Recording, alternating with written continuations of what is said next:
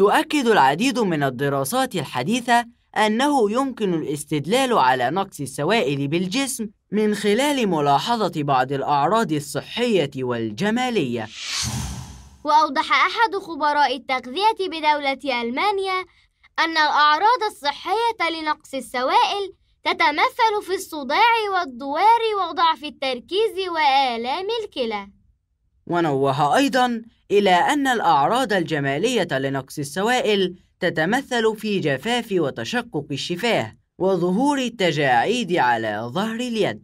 وأشار إلى أن قلة السوائل بالجسم ترجع في الغالب إلى تراجع الشعور بالعطش بسبب التقدم في العمر أو الإصابة بأحد الأمراض وضرورة إمداد الجسم بالسوائل على نحو كاف بمعدل لا يقل عن لتر ونصف يومياً.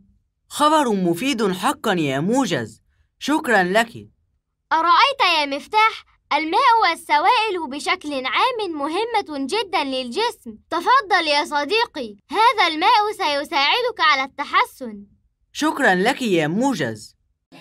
علشان ما يفوتك جديد قنوات المجد للأطفال لا تنسى الاشتراك في القناة. والإعجاب بالمقطع.